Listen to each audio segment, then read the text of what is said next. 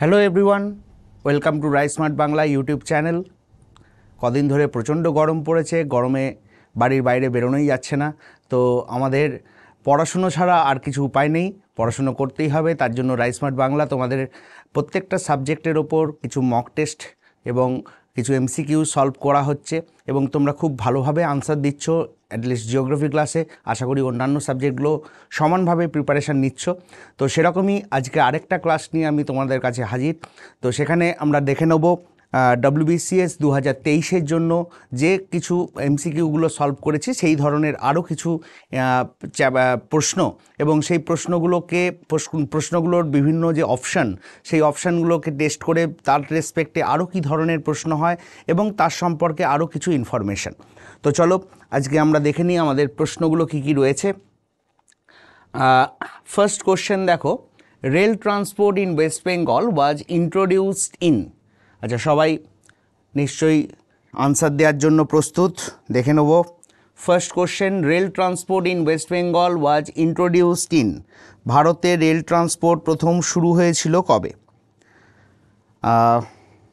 Answer দেখি কি করছ।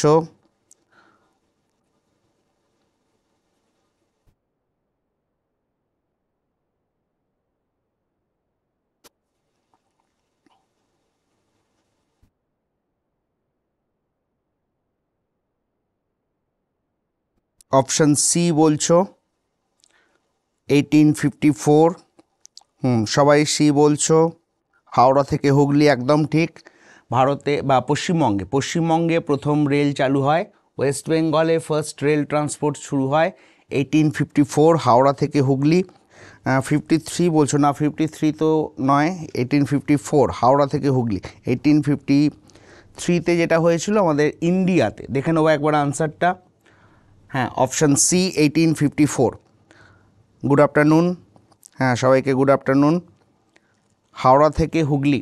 আচ্ছা সঙ্গে আমাদের তাহলে এটাও জানতে হবে, জানি আমরা, যে আমাদের ইন্ডিয়াতে ফার্স্ট রেল ট্রান্সপোর্ট শুরু হয় কবে? ইন্ডিয়াতে ফার্স্ট রেল ট্রান্সপোর্ট শুরু হয় এইটিন ফিফটি থ্রি এবং ডেটটাও নিশ্চয়ই মনে আছে sixteenth April sixteenth April eighteen fifty three Mumbai to Thane, পশ্চিমবঙ্গের যেমন পরের বছর আঠেরোশো চুয়ান্ন এবং ডেটটা মনে রাখবে ফিফটিন্থ আগস্ট, যে ডেটে আমাদের দেশ স্বাধীন হয়। তবে সেটা সালটা আলাদা, এটি নাইনটিন ফর্টি সেভেন এখানে হচ্ছে তোমার, ওয়েস্ট বেঙ্গলে প্রথম রেল ট্রান্সপোর্ট শুরু হয় এইটিন ফিফটি ফোরে fifteenth August.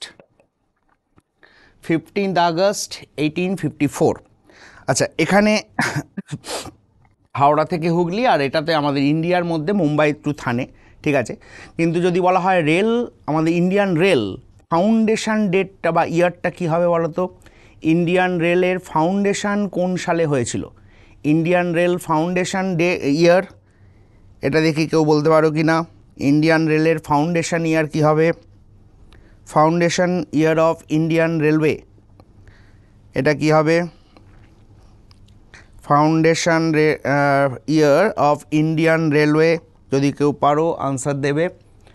এছাড়া এর সাথে সাথে আমাদের জানতে হবে যে ইন্ডিয়াতে এইটিন ফিফটি থ্রিতে প্রথম রেল ট্রান্সপোর্ট শুরু হয়, সেটা কিন্তু ছিল স্টিম ইঞ্জিন সেটা কিন্তু ছিল স্টিম ইঞ্জিন তাহলে সঙ্গে এটাও নিশ্চয়ই খেয়াল আসছে ডিজেল ইঞ্জিন ইন্ডিয়াতে প্রথম চালু হয় কবে? ডিজেল ইঞ্জিন হচ্ছে eighteen fifty nine diesel engine diesel engine eighteen fifty nine আর নাইনটিন টোয়েন্টি ফাইভে electric engine. Electric engine nineteen twenty five তাহলে ইন্ডিয়ারই পরপর দেখো ফার্স্ট রেল ট্রান্সপোর্ট ইন্ডিয়াতে এইভাবে মনে রাখবে। ফার্স্ট যেটা আঠেরোশো তিপ্পান্ন সালে হয়েছিল, সেটা স্টিম ইঞ্জিন। তারপর ডিজেল ইঞ্জিন হয় এইটিন ফিফটি নাইনে আর ইলেকট্রিক ইঞ্জিন হচ্ছে নাইনটিন টোয়েন্টি ফাইভে আর ওয়েস্ট বেঙ্গল বললে এইটিন ফিফটি ফোর ঠিক আছে? না foundation year nineteen hundred five হবে না হ্যাঁ এইটিন ফর্টি ফাইভ ডিএমকে ঠিক বলছো। ফাউন্ডেশন ইয়ারটা হচ্ছে eighteen forty five eighteen forty five nineteen hundred five যেটা, ওটা হচ্ছে ইন্ডিয়ান রেল বোর্ড গঠিত হয়েছিল। Indian rail board nineteen hundred five ঠিক আছে? এই সবগুলো সাল কিন্তু আমাদের মনে রাখতে হবে। তাহলে এই একটা কোশ্চেনের রেসপেক্টে অনেকগুলো আনসার পেলাম এবং অনেকগুলো সাল আমাদের মাথায় চলে এলো যে বিভিন্ন বিভিন্ন কোশ্চেনের রেসপেক্টে কিন্তু আনসারগুলো আলাদা আলাদা হবে। চলো next question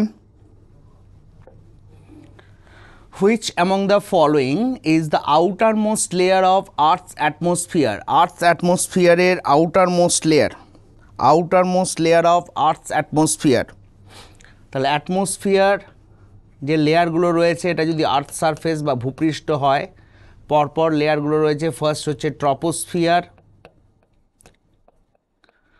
ট্রপোস্ফিয়ার, তারপর রয়েছে স্ট্র্যাটোস্ফিয়ার স্ট্র্যাটোস্ফিয়ার, তারপর রয়েছে মেসোস্ফিয়ার, তারপর রয়েছে থার্মোস্ফিয়ার থার্মোস্ফিয়ার, তারপর রয়েছে ম্যাগনেটোস্ফিয়ার বা হচ্ছে তোমার এক্সোস্ফিয়ার এক্সোস্ফিয়ার তো এই পাঁচটা প্রধান লেয়ার তাহলে এই চারটে অপশানের মধ্যে আউটার মোস্ট কোনটা হচ্ছে দেখো? অপশান ডি বলছো থার্মোস্ফিয়ার এই চারটে অপশানের মধ্যে থার্মোস্ফিয়ারটা আউটার মোস্ট যদি এক্সোস্ফিয়ার অপশান থাকতো অবভিয়াসলি আমরা এক্সোস্ফিয়ার আনসার করতাম। কিন্তু এখানে যে চারটে অপশান দিয়েছে, তার মধ্যে আউটার মোস্ট হচ্ছে থার্মোস্ফিয়ার আচ্ছা এই লেয়ারগুলোর মধ্যে আরও কিছু লেয়ার রয়েছে। যেমন আমরা জানি স্ট্র্যাটোস্ফিয়ারের লোয়ার পার্ট এটাও কিন্তু প্রশ্ন দিয়েছে ডাব্লিউবিসিএসে স্ট্র্যাটোস্ফিয়ারের লোয়ার পার্টে থাকে যে লেয়ারটা তার নাম হচ্ছে ওজোনোস্ফিয়ার ওজোনোস্ফিয়ার তাহলে ওজোনোস্ফিয়ার কোথায় অবস্থান করে? বা highest concentration of ozone gas O three gas অক্সিজেনের তিনটে পরমাণু নিয়ে গঠিত ও থ্রি গ্যাস তার ম্যাক্সিমাম কনসেন্ট্রেশন বা পরিমাণটা কোথায় অবস্থান করছে বা কোথায় পাওয়া যায়। সেটা অপশান যেরকম দেয় যে স্ট্র্যাটোস্ফিয়ারে তো পাওয়া যায় আমরা জানি, তাহলে লোয়ার পার্ট অফ স্ট্র্যাটোস্ফিয়ার না আপার পার্ট অফ স্ট্র্যাটোস্ফিয়ার এটা কিন্তু এক বছর দিয়েছিল প্রশ্ন। তো সেক্ষেত্রে মনে রাখবে স্ট্র্যাটোস্ফিয়ারের লোয়ার পার্ট অর্থাৎ পঁচিশ থেকে তিরিশ কিলোমিটার উচ্চতায়, ভূপৃষ্ঠ থেকে পঁচিশ থেকে তিরিশ কিলোমিটার উচ্চতায় সবচেয়ে বেশি পরিমাণে ওজোন গ্যাসের কনসেন্ট্রেশন পাওয়া যায়। তো যেটা হচ্ছে লোয়ার পার্ট অফ স্ট্র্যাটোস্ফিয়ার এছাড়া থার্মোস্ফিয়ারের বেশিরভাগ পোর্শনটা জুড়ে রয়েছে আয়নোস্ফিয়ার এবং এক্সোস্ফিয়ারের আউটার মোস্ট লেয়ারটি হলো ম্যাগনেটোস্ফিয়ার তাহলে এটা যেমন আয়নোস্ফিয়ার আয়নোস্ফিয়ার এবং এটা হলো ম্যাগনেটোস্ফিয়ার ম্যাগনেটোস্ফিয়ার তাহলে এই হচ্ছে টোটাল আট অ্যাটমসফিয়ারের বিভিন্ন লেয়ারগুলো troposphere stratosphere mesosphere thermosphere exosphere এই পাঁচটা প্রধান লেয়ার এর মধ্যে স্ট্যাটোস্ফিয়ারের মধ্যে লোয়ার পার্টে থাকে ওজোনোস্ফিয়ার লেয়ারটি আয়নোস্ফিয়ার, থার্মোস্ফিয়ারের ম্যাক্সিমাম পোর্শন জুড়ে অবস্থান করে এবং ম্যাগনেটোস্ফিয়ার হলো এক্সোস্ফিয়ারের সবথেকে বাইরের লেয়ার তাহলে যদি প্রশ্ন হয় which is the outer most layer সেখানে ম্যাগনেটোস্ফিয়ার, এক্সোস্ফিয়ার, থার্মোস্ফিয়ার, আয়নোস্ফিয়ার এরকম চারটে অপশানই আছে। তাহলে তাদের মধ্যে আবার আমরা আনসার করব কোনটা? ম্যাগনেটোস্ফিয়ার, যেটা হচ্ছে আউটার মোস্ট লেয়ার এছাড়া এই লেয়ারগুলোর ইম্পর্টেন্স থেকে বিভিন্ন প্রশ্ন হয়, আমরা জানি। যেমন ট্রপোস্ফিয়ার থেকে যে প্রশ্নগুলো হয়, যে which is the lowermost layer which is the densest layer বা এরোপ্লেন সাধারণ বিমানগুলি চলাচল করে কোন লেয়ার দিয়ে। এবং ট্রপোস্ফিয়ারে আমরা জানি হাইট বাড়ার সাথে সাথে টেম্পারেচার কমে যায়, সেই জন্য উচ্চতায়, বেশি উচ্চতায় বা পাহাড়ি অঞ্চলে গেলে আমাদের ঠান্ডা লাগে। তো সেখানে ট্রপোস্ফিয়ারের ল্যাপস রেট অফ টেম্পারেচার উষ্ণতা হ্রাসের স্বাভাবিক হার কত? না, মাইনাস সিক্স পয়েন্ট ফোর বা সিক্স পয়েন্ট ফাইভ সাড়ে ছ ডিগ্রি সেন্টিগ্রেড করে কমে যায়। প্রতি কিলোমিটার উচ্চতা বাড়ার সাথে সাথে সিক্স পয়েন্ট ফোর বা six point five degree centigrade করে তাপমাত্রা কমে যায়। এছাড়া সব বিভিন্ন রকম যে ক্লাইমেটিক ডিস্টারবেন্স বা ফেনোমেনাগুলো, এই যে ক্লাউড ফর্মেশন হচ্ছে, বৃষ্টিপাত হচ্ছে উইন্ড মুভমেন্ট হচ্ছে। এগুলো সমস্ত কিছু কোন লেয়ারে দেখা যায়?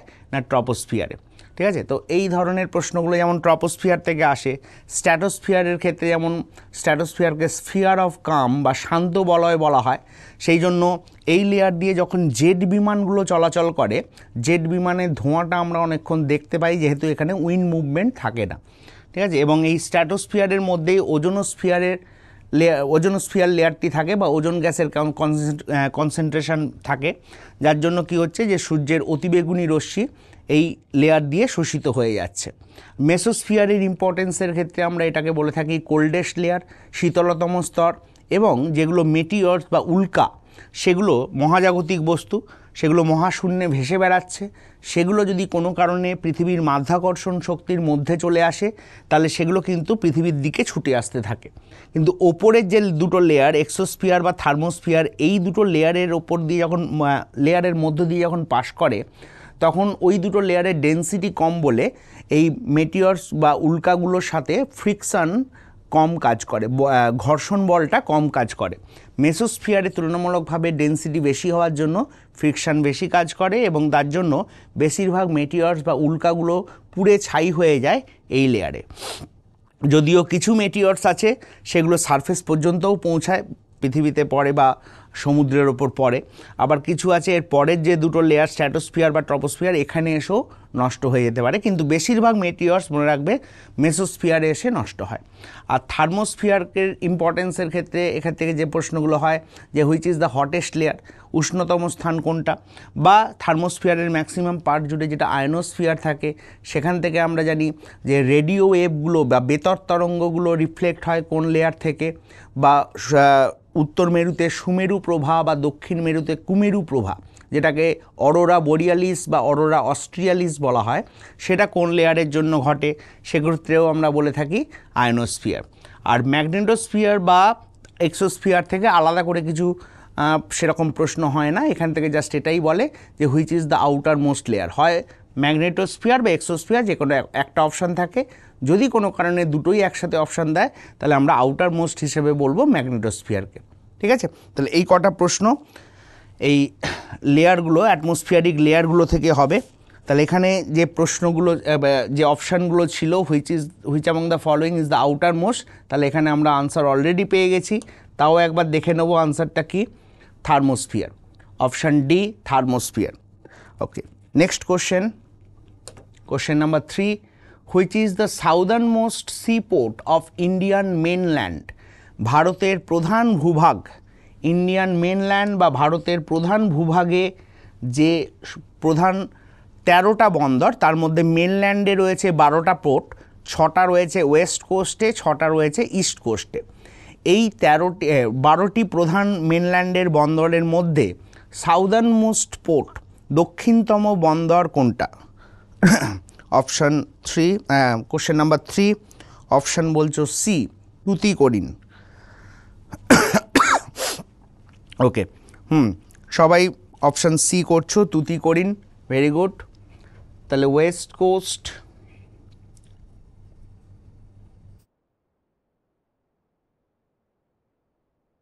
আর ইস্ট কোস্ট ওয়েস্ট কোস্টের পোর্টগুলোর মধ্যে রয়েছে প্রথমে কান্ডালা পোর্ট, গুজরাটে। তারপর রয়েছে মুম্বাই পোর্ট তারপর রয়েছে জওহরলাল নেহেরু। জওহরলাল নেহেরু, এটাও মহারাষ্ট্র। তারপর রয়েছে নিউ ম্যাঙ্গালোর। নিউ ম্যাঙ্গালোর। তারপর রয়েছে কোচি। কেরালার কোচি পোর্ট। ইস্ট কোস্টের পোর্টগুলোর মধ্যে কলকাতা। আগের একটা কয়েকদিন আগেই ক্লাসে আমি এই পোর্টগুলোর লোকেশানগুলো দেখিয়েছিলাম বোধহয়। কলকাতা এবং তারপর রয়েছে পারাদ্বীপ। পারাদ্বীপ, যেটা ওড়িশাতে রয়েছে। পারাদ্বীপের পর ভাইজ্যাগ বা বিশাখাপত্তনম পোর্ট। তারপর রয়েছে এন্নোর পোর্ট। এন্নোর তারপর রয়েছে চেন্নাই পোর্ট। এবং সব থেকে দক্ষিণে রয়েছে তুতিকোরিন তুতিকোরিন তাহলে এই যে টোটাল বারোটা পোর্ট মেনল্যান্ডে রয়েছে, তাদের মধ্যে ইস্ট কোস্ট বলো বা ওয়েস্ট কোস্ট বলো, সবগুলোর মধ্যে সাউদার্ন মোস্ট পোর্ট হচ্ছে তুতিকোরিন এবং ওই ক্লাসে বোধহয় আমি তোমার আর্টিফিশিয়াল বা ন্যাচারাল হারবার কোনগুলো সেগুলো আমি ডিসকাস করেছিলাম, বলেছিলাম। তো সেগুলো আর আমি আর আলাদা করে যাচ্ছি না। এবং তাদের ইম্পর্টেন্সগুলোর ক্ষেত্রে আরও কিছু জায়গা আমি বলেছিলাম, যেমন হচ্ছে তোমার ট্যাক্স ফ্রি পোর্ট ভারতের একমাত্র শুল্কমুক্ত বন্দর, কান্ডালা পোর্টকে বলা হয়। ইন্ডিয়ার লার্জেস্ট পোর্ট মুম্বাই পোর্ট যেমন, তেমনি লার্জেস্ট বা হচ্ছে মোস্ট মডার্নাইজড পোর্ট বা কম্পিউটারাইজড পোর্ট কোন বন্দরকে বলা হয়? সেক্ষেত্রে হচ্ছে Jawaharlal Nehru port most modernised port বা কম্পিউটারাইজড পোর্ট আর ডিপেস্ট ল্যান্ডলকড পোর্ট বিশাখাপত্তনম বা ভাইজ্যাক পোর্টকে বলা হয়। ডিপেস্ট ল্যান্ডলকড স্থলবেষ্টিত বন্দর। যাই হোক, এই ধরনের বেশ কিছু প্রশ্ন আসবে এখান থেকে। নেক্সট কোশ্চেনে তাহলে চলে যাই, দেখে নেব তার আগে একবার আনসারটা option C question number three option C চলো, পরের question in which district of West Bengal the percentage of schedule caste population is maximum তাহলে পশ্চিমবঙ্গের কোন জেলাতে শিডিউল কাস্ট পপুলেশন সবচেয়ে বেশি রয়েছে? অপশানগুলো দেখো, কোচবিহার সাউথ চব্বিশ পরগনা, জলপাইগুড়ি এবং ওয়েস্ট মিদনাপুর এখানে খেয়াল রাখতে হবে, প্রশ্নটা কিন্তু দুরকমভাবে হতে পারে। একটা হচ্ছে total production total schedule caste population আর একটা হচ্ছে তোমার percentage wise schedule caste population এখানে যেহেতু প্রশ্নে দেখো পার্সেন্টেজ কথাটা মেনশন করা আছে তাহলে পার্সেন্টেজের রেসপেক্টে বলতে হবে। যেরকম আমরা পপুলেশান আর পপুলেশান ডেন্সিটির মধ্যে যেরকম ডিফারেন্স পাই, তেমনি এসসি বা এসটি পপুলেশনের ক্ষেত্রেও টোটাল এবং পার্সেন্টেজের রেসপেক্টে বললে ওই একই রকমভাবে ডিফারেন্সটা হবে। মানে সংখ্যায় বেশি এসসি বা এসটি পপুলেশান কোন জেলায়, আর হচ্ছে পার্সেন্টেজের রেসপেক্টে বেশি কোন জেলায়। তাহলে এখানে দেখো শিডিউল কাস্ট বা এসসি পপুলেশন এসসি পপুলেশনের পার্সেন্টেজ কোথায় রয়েছে? সবচেয়ে বেশি কোচবিহার সাউথ চব্বিশ পরগনা, জলপাইগুড়ি এবং West Midnapore. Question number four সবাই আনসার করছ বি না দু একজন এ করেছ। Schedule caste population schedule caste population এখানে আবারও বলছি পার্সেন্টেজ কথাটা যেহেতু রয়েছে, সেই জিনিসটা কিন্তু আমাদের খেয়াল রাখতে হবে। পার্সেন্টেজ বেশি কোথায়? টোটালে হয়তো বেশি সাউথ চব্বিশ পরগনা, কিন্তু পার্সেন্টেজে বেশি কোচবিহার। দেখে নেব একবার। দেখো আনসারটা হচ্ছে কোচবিহার। তাহলে percentage scheduled caste SC percentage বেশি হচ্ছে তোমার কোচবিহারে, আর শিডিউল কাস্ট টোটালে বেশি সাউথ চব্বিশ পরগনাতে। ঠিক একইভাবে যদি এসটি বলে শিডিউল ট্রাইব শিডিউল ট্রাইবের ক্ষেত্রে টোটাল এসটি টোটালে বেশি ওয়েস্ট মিদনাপুর, আর এসটি বা শিডিউল ট্রাইবের পার্সেন্টেজ বেশি হচ্ছে জলপাইগুড়ি। এখানে এই চারটে অপশান আমি এই কারণেই রেখেছি যাতে আমাদের একসাথে মনে থাকে জিনিসগুলো। শিডিউল কাস্ট শিডিউল ট্রাইব, সেখানে হচ্ছে তোমার পার্সেন্টেজ এবং টোটাল পপুলেশন কোনটাতে বেশি। এটা খেয়াল রাখবে, আবারও বলছি পার্সেন্টেজ বলছে, না শুধু হায়েস্ট শিডিউল কাস্ট পপুলেশান বলছে। শুধু হায়েস্ট শিডিউল কাস্ট পপুলেশন বলা মানে কিন্তু টোটালের রেসপেক্টে ধরতে হবে। আর এখানে যেহেতু মেনশন করা আছে পার্সেন্টেজ ওয়াইজ তাহলে কিন্তু পার্সেন্টেজের রেসপেক্টে বলতে হবে। ঠিক আছে, বুঝতে পারলে? তাহলে কোশ্চেন নাম্বার ফোর হলো অপশান এ হুম। ওকে, চলো next question which of the following city did not get vertical sunlight ever in a year একটা বছরে, সারা বছরের মধ্যে সূর্যকে মাথার ওপরে দেখা যায় না। খেয়াল রাখবে ডিড নট গেট মাথার ওপরে দেখা যায় না। এই নেগেটিভ সেন্সের কোশ্চেনগুলো আমাদের কিন্তু অনেক সময় পাজল করে দেয় বা আনসার আমরা ভুল করে চলে আসি। আমরা নর্মালি যে কোশ্চেনগুলো দেখি পজিটিভ সেন্সের কোশ্চেনই ম্যাক্সিমাম দেখি। কিন্তু এই ডিড নট বা ডাজ নট এই নট কথাগুলো আমাদের অনেক সময় বেসামালে ফেলে। তো সেই হিসেবে আমাদের একটু মাথায় রেখে আনসারটা করতে হবে। দেখো, যে অপশানগুলো রয়েছে, হায়দ্রাবাদ, নাগপুর, ভুবনেশ্বর, পাটনা। এখান থেকে, এর মধ্যেই চারটে শহরের মধ্যে কোন শহর থেকে আমরা সূর্যকে মাথার ওপরে দেখতে পাই না? একটা সারা বছরের মধ্যে বা বছরের কোনো সময়ই দেখা যায় না। কি আনসার হবে দেখব? অপশান ডি বলছো। অপশান ডি অর্থাৎ পাটনা বলছো। বিহারের পাটনা বাকিগুলো হায়দ্রাবাদ, নাগপুর, ভুবনেশ্বর, এগুলো তার মানে সূর্যকে মাথার উপরে দেখা যায়, তাই বলছো তো? সবাই পাটনা বলছো। হুম option D Patna option D Patna, একদম ঠিক। তাহলে এই জিনিসটা একটু মাথায় রাখবে। সূর্যকে মাথার ওপরে দেখা যাবে না পাটনা থেকে, কারণ পাটনা যে জায়গাটা বিহারে রয়েছে, যেখান দিয়ে আমাদের ট্রপিক অফ ক্যান্সার গেছে, কর্কটক্রান্তি রেখা গেছে তার উত্তরে বিহার রাজ্যটি বা পাটনা শহরটি অবস্থিত। বাকিগুলো যেগুলো রয়েছে, যেমন হায়দ্রাবাদ, তেলেঙ্গানাতে রয়েছে, তেলেঙ্গানার ক্যাপিটাল। নাগপুরকে আমরা zero milestone city of India বলি, অর্থাৎ ভারতের প্রায় সেন্টার এরিয়াতে রয়েছে, মাঝখানে রয়েছে। ভুবনেশ্বর হচ্ছে উড়িষ্যা তাহলে এই জায়গাগুলো কিন্তু ট্রপিক অফ ক্যান্সারের সাউথে রয়েছে। আর ওয়ার্ল্ডের রেসপেক্টে এই ইকুয়েটারের দুপাশে মানে ট্রপিক অফ ক্যান্সার থেকে সাড়ে তেইশ ডিগ্রি উত্তর অক্ষরেখা থেকে সাড়ে তেইশ ডিগ্রি দক্ষিণ অক্ষরেখা। এর মাঝখানের পোর্শানগুলোকে আমরা টরিড জোন বলি, উষ্ণমণ্ডল বলি, কারণ এই জায়গাগুলো থেকে বছরের কোনো না কোনো সময়ে সূর্যকে মাথার উপরে দেখা যায়। ঠিক আছে? তাহলে ইন্ডিয়ার ক্ষেত্রে টরিড জোনটা পড়ে এই ট্রপিক অফ ক্যান্সার থেকে দক্ষিণের প্লেসগুলোতে তাই তো? কারণ ইন্ডিয়ার দক্ষিণে রয়েছে ইকুয়েটার তার দক্ষিণে রয়েছে ট্রপিক অফ ক্যাপ্রিকন তাই ওভারহেড সানলাইট পাওয়া যায় এই ট্রপিক অফ ক্যান্সারের সাউথের প্লেসগুলোতে নর্থের প্লেসগুলোতে নয়। তাহলে এখানে সেই হিসেবে যে প্রশ্নটা ছিল did not get vertical sunlight ever in a year সারা বছরের কোনো সময়তেই সূর্যকে মাথার উপরে দেখা যায় না কোন শহরটি থেকে। তার মানে সেই শহরটি বুঝতে হবে ট্রপিক অফ ক্যান্সারের নর্থে রয়েছে। তাই আনসার হলো Patna. Very good option D next কোশ্চেনে যাব। Question number six Indian map published by খুব সিম্পল কোশ্চেন সিম্পল কোশ্চেন বলতে অনেকবার এসেছে, সেই হিসেবে হয়তো আমাদের কাছে খুব পরিচিত একটা question question number six Indian map কারা পাবলিশ করে? তবে এখানে শর্ট ফর্মগুলো দেওয়া রয়েছে ফুল ফর্মগুলো অনেক সময় দেয়। আনসারটা কী হবে বলো? অপশান কোশ্চেন নাম্বার সিক্স ভারতের মানচিত্র কারা পাবলিশ করে থাকে?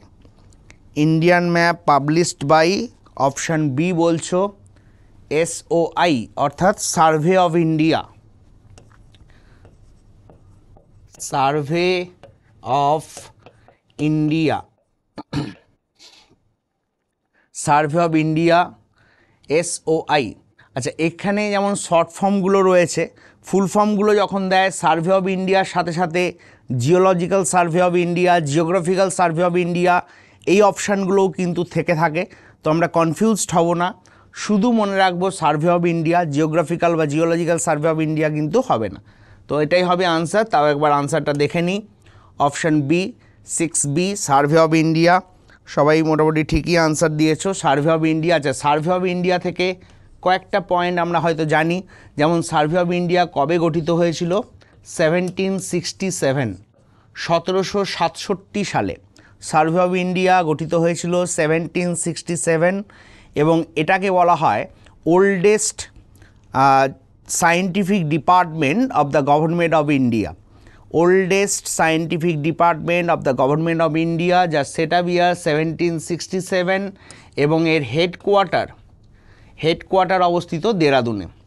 সার্ভ অফ ইন্ডিয়ার হেডকোয়ার্টার রয়েছে দেরাদুন। উত্তরাখণ্ড, উত্তরাখণ্ডের দেরাদুনে অবস্থিত সার্ভে অফ ইন্ডিয়ার হেডকোয়ার্টার। ওকে আচ্ছা আরেকটা প্রশ্ন এখান থেকে ইন্ডিয়ার ম্যাপ রিলেটেড হয়, নিশ্চয়ই আমরা দেখেছি যে ইন্ডিয়ার ম্যাপ কী ধরনের প্রজেকশন বা কী ধরনের এর সাহায্যে করা প্রজেক্ট করা হয় পাবলিশ করা হয়।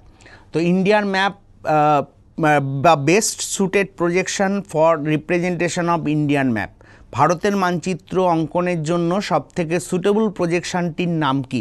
তো এই প্রশ্নটার ক্ষেত্রে কিন্তু আমরা দেখেছি বিভিন্ন ইয়ারে বিভিন্ন ধরনের অপশান দিয়েছে। যেমন কোনো বছর দিয়েছে Lambert's polyconic Lambert's polyconic orthomorphic projection orthomorphic projection আবার কোনোবারে অপশান দিয়েছে, নিশ্চয়ই দেখেছি আমরা বোনস প্রজেকশন বোনস প্রজেকশন কোনোবারে আবার সাইনুসয়েডাল সাইনুসয়েডাল প্রজেকশন কোনোবারে দেখা গেছে এদের মধ্যে একাধিক অপশানও দিয়েছে। তো তখন আমরা কিন্তু প্রায়োরিটি বেসিসে বেছে নেব। ফার্স্ট চয়েস আমাদের হবে এটা ল্যাম্বার্টস পলিকনিক অর্থমরফিক প্রজেকশন না থাকলে তখন বোনস প্রজেকশন এবং লাস্ট ইয়ারে যে প্রশ্নটা দিয়েছিল, তখন দেখব দেখেছিলাম আমরা ল্যাম্বার্টস পলিকনিকও ছিল সাইনুসয়েডালও ছিল। তাহলে সেই হিসেবে কিন্তু আমরা আনসার করব ল্যাম্বার্টস পলিকনিক অর্থোমরফিক প্রজেকশন ঠিক আছে? তো ম্যাপ রিলেটেড এই কটা প্রশ্ন আমরা ডাব্লিউবিসিএস প্রিলি বলো বা মেনে বলো দেখে থাকি। মনে রাখবে এই নামগুলো। চলে যাব নেক্সট কোশ্চেনে question number seven the landmass of which of the following continents is the least তাহলে স্থলভাগের পরিমাণ কোন মহাদেশে সবচেয়ে কম? অপশানগুলো দেখো, option A Africa, B Asia, C Europe, D Australia. The landmass of which of the following continents is the least সব থেকে কম পরিমাণে স্থলভাগ কোন মহাদেশে পাবো? কোশ্চেন নাম্বার সেভেন সব থেকে কম পরিমাণ স্থলভাগ কোন মহাদেশে পাবো? মানে ছোট মহাদেশ এক কথায়। ছোট মহাদেশ সব থেকে কোনটি? আনসার করেছ অলরেডি অপশান ডি বলছো। Option D Australia option D বলছো অস্ট্রেলিয়া হ্যাঁ সবাই আনসার ডি বলছো। দেখে নিই একবার আনসারটা অপশান ডি অস্ট্রেলিয়া একদম ঠিক। তাহলে এখানে least populated continent and smallest continent দুটো প্রশ্ন। Least populated continent and smallest continent দুটোই যেমন অস্ট্রেলিয়া হবে তেমনি most populated continent and largest continent হবে Asia most populated continent and largest continent সেটা হবে এশিয়া তাহলে least populated continent and smallest continent দুটোর ক্ষেত্রে আমরা বলব অস্ট্রেলিয়া আবার ঠিক উল্টো প্রশ্নটা মোস্ট পপুলেটেড কন্টিনেন্ট বা লার্জেস্ট কন্টিনেন্ট এই দুটোর ক্ষেত্রে আমরা আনসার করব কি? এশিয়া কিন্তু আরেকটা প্রশ্ন হতে পারে, খেয়াল রাখবে এটা দেখো তো জানা আছে কি না যে কোন মহাদেশের সব থেকে বেশি সংখ্যক দেশ রয়েছে? Which continent having maximum number of country সব থেকে বেশি সংখ্যক দেশ রয়েছে কোন মহাদেশে? দেখি এটা আনসার করতে পারো কি না এই মহা, তোমার টোটাল যে সাতটা মহাদেশ রয়েছে পৃথিবীতে, সেই সাতটি মহাদেশের মধ্যে ম্যাক্সিমাম নাম্বার অফ কান্ট্রি কোন কন্টিনেন্টে রয়েছে? কোন মহাদেশে রয়েছে? এটা দেখি আনসার করতে পারো কি না কোন মহাদেশে সব থেকে বেশি সংখ্যক দেশ রয়েছে? এশিয়া না, এশিয়া হবে না, এশিয়া হবে না না, ইউরোপও নয়। এটা হচ্ছে Africa. Africa maximum number of country রয়েছে আফ্রিকা মহাদেশে। মনে রাখবে, আফ্রিকা মহাদেশে সব থেকে বেশি সংখ্যক দেশ রয়েছে। ওকে চলো next question question number eight Baglihar project on the river Chenab is the controversial project between common প্রশ্ন বাগলিহার প্রজেক্ট হ্যাঁ চুয়ান্নটা দেশ রয়েছে, ঠিক। আফ্রিকা মহাদেশে চুয়ান্নটা দেশ রয়েছে। তাহলে বাগলিহার প্রজেক্ট কোন কোন দেশের কন্ট্রোভার্সিয়াল প্রজেক্ট কোন কোন দেশের controversial project option A India Pakistan option B India China option C India, Bhutan, option D, India, Nepal. কোন কোন দেশের কন্ট্রোভার্সিয়াল প্রজেক্ট আনসার করছ, অপশান এ বলছে সবাই। অপশান এ অর্থাৎ ইন্ডিয়া, পাকিস্তান। তাই তো? দেখে নিই একবার আনসারটা একদম ঠিক, ইন্ডিয়া, পাকিস্তান। অ্যাকচুয়ালি আমরা ইন্দাস ওয়াটার ট্রিটি সিন্ধু জল চুক্তির সময় বলেছিলাম বলার সময়। ইন্দাস ওয়াটার ট্রিটিতে বলা হয়েছিল যে সিন্ধু এবং তার যে উপনদীগুলো মিলে টোটাল ছটা নদী, তার মধ্যে তিনটে রিভার, নিচের তিনটে রিভার, অর্থাৎ সতলেজ সতলেজ, ভিয়াস, রবি, এই তিনটে নদীর ম্যাক্সিমাম বেনিফিট পাবে ইন্ডিয়া বা ম্যাক্সিমাম জল ব্যবহার করতে পারবে ইন্ডিয়া। আর ওপরের তিনটে রিভার অর্থাৎ চেনাব চেনাব, ঝিলাম ঝিলাম এবং ইন্দাস ইন্দাস। এই তিনটে নদীর ম্যাক্সিমাম বেনিফিট পাবে পাকিস্তান, অর্থাৎ ম্যাক্সিমাম ইউজ করতে পারবে জলটা পাকিস্তান। সেটা কোথায় বলা হয়েছিল? ইন্দাস ওয়াটার ট্রিটি, যেটা ভারত পাকিস্তানের মধ্যে স্বাক্ষরিত হয়েছিল নাইনটিন সিক্সটি উনিশশো ষাট সালে। এই চুক্তি অনুযায়ী ইন্দাস, ঝিলাম এবং চেনাবের ম্যাক্সিমাম বেনিফিট যেহেতু পাকিস্তানের পাওয়ার কথা, কিন্তু ইন্ডিয়া এই তিনটে রিভারের ওপর কিছু ড্যাম তৈরি করেছে, যেমন এখানে চেনাব রিভারের ওপর পাচ্ছি বাগলিহার প্রজেক্ট। এছাড়া এই ধরনের আরও বেশ কিছু ড্যাম আমরা পড়ব যেগুলো কিনা এই রিভারগুলোর ওপর আছে, দুলহাস্তি, পাকালদুল, এই সমস্ত যে ড্যামগুলো, দুলহাস্তি ড্যাম বা ধরো উড়ি ড্যাম, তাহলে এগুলোও কিন্তু সমস্তগুলোর ক্ষেত্রেই আনসার হবে ইন্ডিয়া পাকিস্তানের কন্ট্রোভার্সিয়াল প্রজেক্ট ঠিক আছে? মনে রাখবে ইন্দাস, ঝিলাম এবং চেনাব, এই তিনটে রিভারের ওপর যদি কোনো ড্যামের নাম আমাদের জানা থাকে, সেগুলো সবই ইন্ডিয়া পাকিস্তানের মধ্যে কন্ট্রোভার্সিয়াল প্রজেক্ট হবে। Okay next question name the leading producer of marine fish সামুদ্রিক মৎস্য উৎপাদন করে সবচেয়ে বেশি কোন রাজ্য? কোশ্চেন নাম্বার নাইন দেখো অপশানগুলো, option A Gujarat, B Kerala, C Karnataka and D West Bengal. Name the leading producer of marine fish সামুদ্রিক মৎস্য উৎপাদন করে সবচেয়ে বেশি কোন রাজ্য? কোশ্চেন নাম্বার নাইন সামুদ্রিক মৎস্য উৎপাদনে প্রথম বা সব, সবচেয়ে বেশি সামুদ্রিক মৎস্য উৎপাদন করে থাকে কোন রাজ্য অপশান সি বলছো? কর্ণাটক। বি বলছো কেরালা। এটা নিয়ে একটু কনফিউশন হচ্ছে সবার মধ্যে আশা করি। মনে হচ্ছে অপশান সি কর্ণাটক বলছো নাইন এ হ্যাঁ গুজরাট। এটাই হবে আনসার দেখে নেব একবার। Option A the leading producer of marine fish সামুদ্রিক মৎস্য উৎপাদন করে সবচেয়ে বেশি গুজরাট। বর্তমানে সামুদ্রিক মৎস্য উৎপাদনে হায়েস্ট হচ্ছে গুজরাট। ঠিক আছে? ওকে চলো next question area wise second smallest district in West Bengal area wise second smallest district অবশ্যই সেন্সাস রিপোর্ট অনুযায়ী বলবে। সেন্সাস টু থাউজেন্ড ইলেভেন দু হাজার এগারো সেন্সাস যেটা এখনও পর্যন্ত আমাদের কাছে লেটেস্ট সেন্সাস সেই রিপোর্ট অনুযায়ী ইন ওয়েস্ট বেঙ্গলের ওয়েস্ট বেঙ্গলের সেকেন্ড স্মলেস্ট ডিস্ট্রিক্ট কোনটা? সেই রিপোর্ট অনুযায়ী ওয়েস্ট বেঙ্গলের সেকেন্ড স্মলেস্ট ডিস্ট্রিক্ট কোনটা? Kolkata, Howrah South Dinajpur North Dinajpur question number ten option B Howrah. Option B বলছো হাওড়া সি সাউথ দিনাজপুর বলছো না। অপশান বি একদম ঠিক অপশান বি দেখে নেব একবার আনসারটা অপশান বি হাওড়া। তাহলে area wise second smallest district in West Bengal আয়তনের দিক থেকে smallest Kolkata second smallest Howrah third হলো সাউথ দিনাজপুর। পরপরই আছে র্যাঙ্কিংগুলো ল স্মলেস্টের রেসপেক্টে ফার্স্ট সেকেন্ড থার্ড তাহলে এটার থেকে এটা বড়, তার থেকে এটা বড়। ঠিক আছে? তাহলে smallest Kolkata second smallest Howrah third South Dinajpur. আর যদি বলে at present at present second smallest হলে কিন্তু আবার আনসারটা চেঞ্জ হয়ে যাবে। তখন হবে কালিম্পং কালিম্পং এটা অ্যাট প্রেজেন্ট বললে আনসার হবে Kalimpong according to census report কারণ এখানে দেখো কালিম্পং অপশান নেই। তাহলে আমাদের ধরে নিতে হবে এটা সেন্সাস রিপোর্ট অনুযায়ী জিজ্ঞেস করা হয়েছে কোশ্চেনটা সেই হিসেবে আমরা আনসার করব হাওড়া। কিন্তু অ্যাট প্রেজেন্ট যদি বলা হয় সেকেন্ড স্মলেস্ট ডিস্ট্রিক্ট কোনটা ওয়েস্ট বেঙ্গলের তাহলে বলতে হবে কালিম্পং ঠিক আছে? ওকে তাহলে এই ধরনের প্রশ্নগুলো আমরা আজকে কয়েকটা প্রশ্ন জাস্ট আলোচনা করলাম। সেখানে খুব বেশি জায়গা ছিল না আমাদের হয়তো ডিসকাসের কিন্তু যতটুকু আলোচনা করেছি, আশা করি ম্যাক্সিমামটাই তোমাদের জানা, ঠিকঠাকই আনসার দিয়েছ।